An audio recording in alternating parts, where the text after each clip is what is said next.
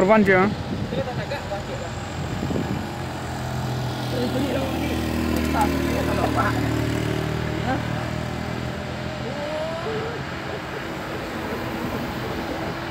Mày, mày quá, mày biết à, mày mua cái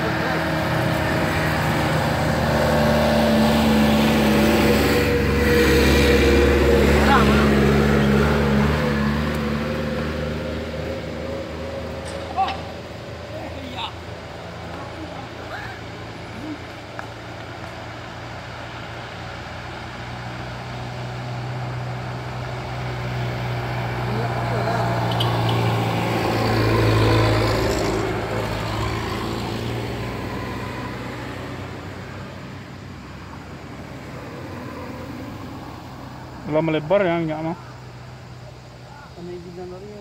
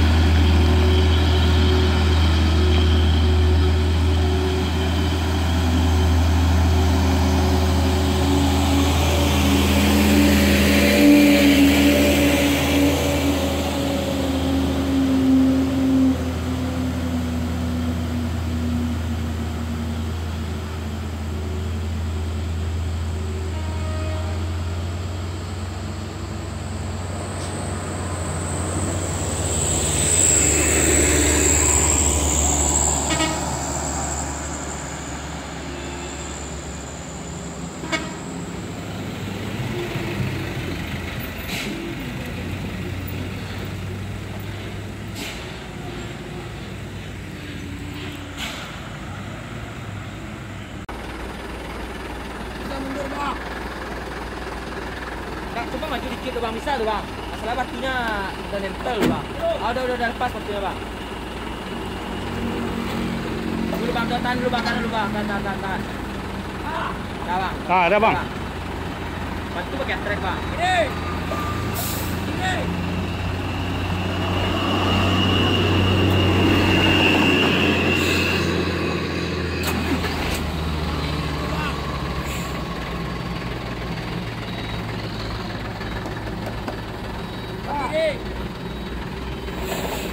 Lagi, kiri, kiri, bikin kiri.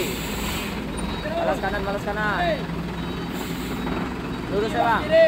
Lagi.